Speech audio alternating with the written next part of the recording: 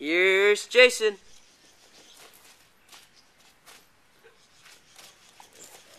Here's Myra.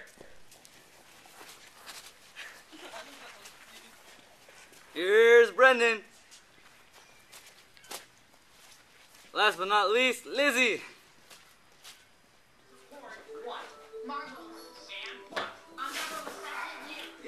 What is this, Hannah Montana? Are you kidding me? Changing the channel. What does it look like? Give it back. No, you butt face. Go cry to mom. God.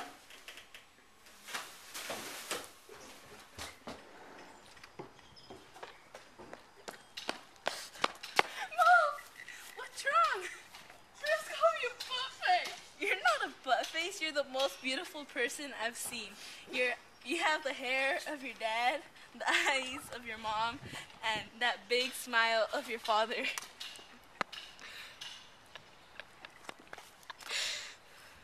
Okay, thanks, Mom. You made me feel so much better. Law of dominance. Say you're heterozygous trait for hair color. Big B and little b. Big B equals brown hair and little b equals blonde hair. And the other parent is homozygous for blonde hair.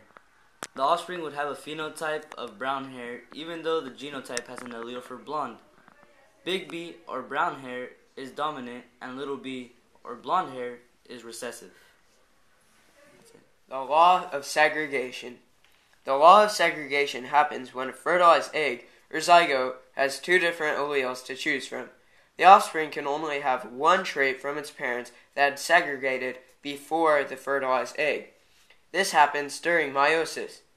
The folding of the paper represents law of segregation because the two alleles are separated. The law of independent assortment. The law of independent assortment states that two different traits of a future gamete cannot affect each other during meiosis. During random fertilization, the traits don't affect each other as shown here.